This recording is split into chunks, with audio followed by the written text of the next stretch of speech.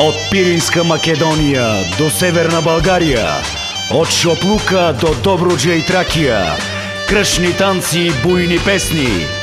Седми национален фолклорен конкурс Оро се вие църволи се кинат Първомай 2017 Скъпи приятели и ценители на българското музикално и танцово изкуство – и тази година Фундация Гайтан и Народно читалище Димитър Благоев 1956 канят всички танцови състави, фолклорни ансамбли и клубове за български народни хора от цяла България.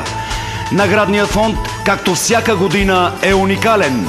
Заповядайте на 3 и 4 юни на тази истинска танцова фиеста – за повече информация на фейсбук страницата на Ансамбъл Гайтан или на телефон 0894 69 18 69 с медийната подкрепа на телевизия Родина.